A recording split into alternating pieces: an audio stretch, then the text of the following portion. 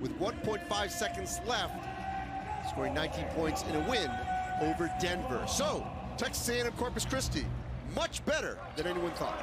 The credit, the, the comment that's been said about this Gopher team so far is how hard they play, how together they are. Isaac Mushila gets his first field goal attempt to drop. Their leading scorer at about 15 points per game. Michigan was one of several teams so far this season, the seventh opponent they've held under 70 points. And watch out for Mushila. He's considered essentially a double-double guy for Texas A&M Corpus Christi. That should be a fun battle between Mushila and Jamison Battle. Oh, down low and a beautiful finish from Stephens. So look at Eric Curry. He's directing traffic. What a great feed and cut to Stephens. That is a player who's been playing on that floor at the barn for quite some time. Youth development leadership.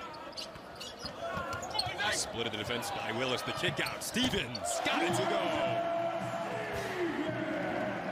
Ben Johnson has said this. He said this to Dave Revsine on Big Today. Is that these transfers fit?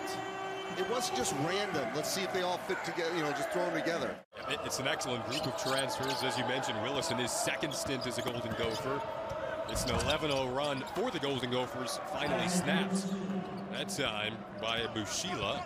0 for their last six from the field up until that bucket. This is a high-scoring Islander team. I mean, they're going to go to 82 points. That's what they want to do. And that's what they're averaging. And this is a Minnesota team that may not be known for their three-point shooting this season, but they're known for it so far in this game. The other way, able to answer Simeon Fryer, another solid scorer.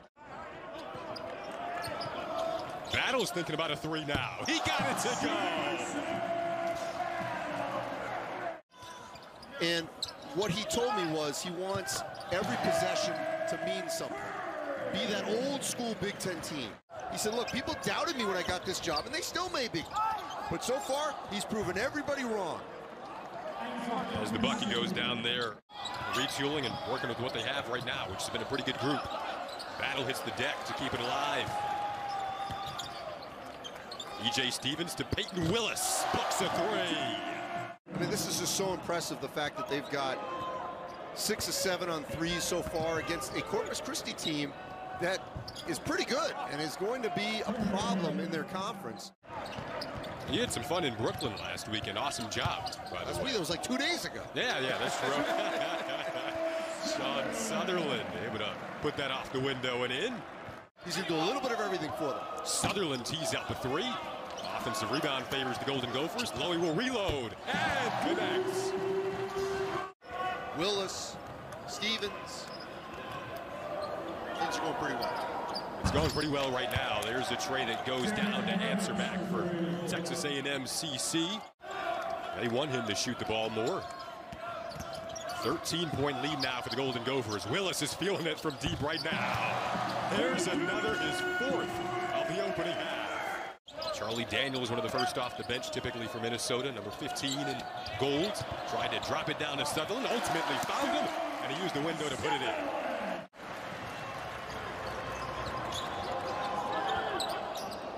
Pull-up J from Travion Thompson goes down.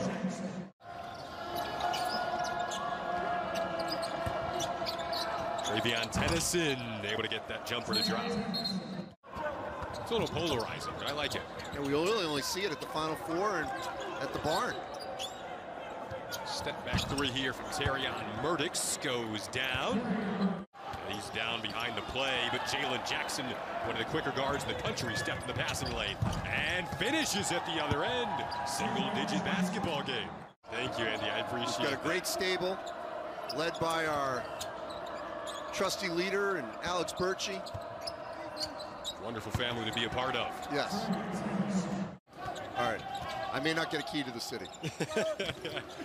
well, a cut to the rim. E.J. Stephens may have a key to the city. He's had an excellent first half. Long three from Thompson. One of the freshmen off the bench. Ben Johnson has liked his play in practice of late. Getting a few more minutes. Jalen Jackson using his speed the other way. This was important for Minnesota to reset, get a little mini run before the end of the half. Stephens has some space and drills the three.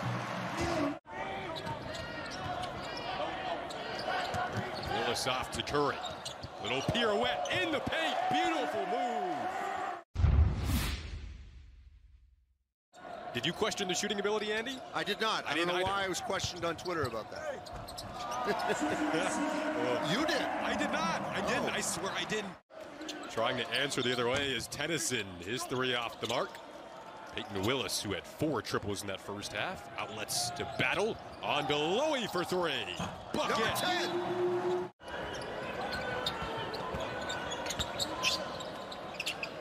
Lead is ballooned to 24.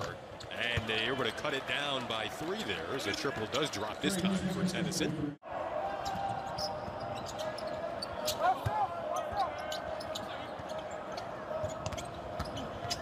Willis, little pull-up J, got that to drop. Tennyson can capitalize with an offensive rebound by Thoramade. And there's Curry getting it going. Here comes Willis, stepping back and firing away. Got another three. 11. Willis is at 17 right now. It's one more, it's one shy of a thousand career points. Obviously not at Minnesota as we just showed you, but still pretty impressive. Texas A&M CC loves to push the pace, but Minnesota's gotten back on defense well.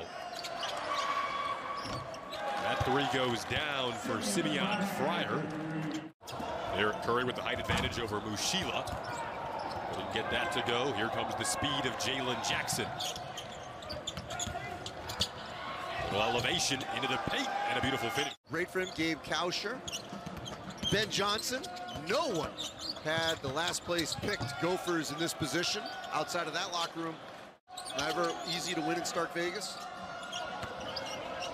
And then, of course, at Michigan, they were not expected to win that game. They got to get on the off on the defensive backboard. A three is good for Jordan Roberts. And this is an eight-point game. Nadeem Babu, who works and I think owns maybe or co-owns gopherhole.com. They do a great job covering this team in all sports at the University of Minnesota. Picked up players with a purpose. They didn't have much of a roster. Largest Minnesota lead was 26. It's now back down to eight. I mean, it was a 20-point game. You thought I was kind of foolish saying what they had to do to get it close, but they're under 10. Oh, I asked you.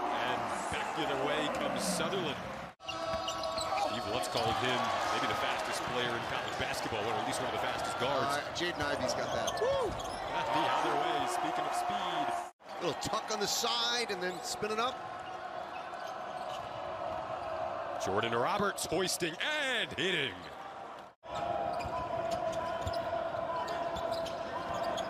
Jamison battles, put in some good work, had the height advantage down and it.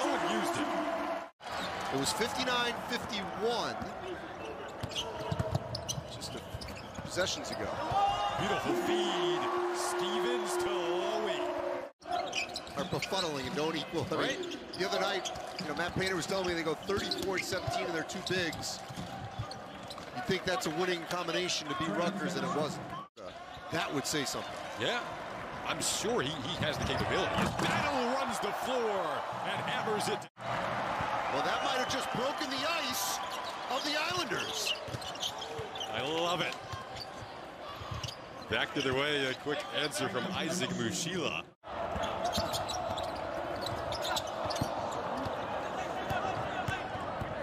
Danny Ogele also in the game now. The other way, a bucket from Terrion Murdix.